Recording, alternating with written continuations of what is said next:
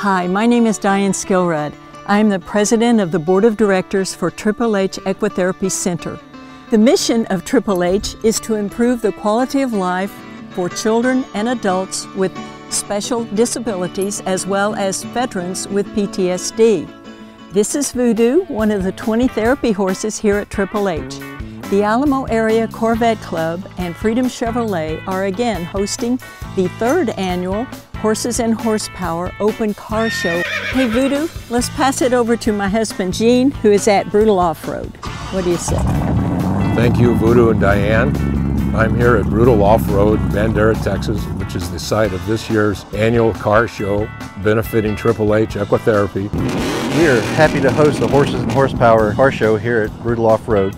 We're located at 4333 Highway 16 South in beautiful Bandera. It's an open car show, so everything is welcome. We can't wait to see you guys. Come on out. We're going to have some beautiful cars just like these behind me.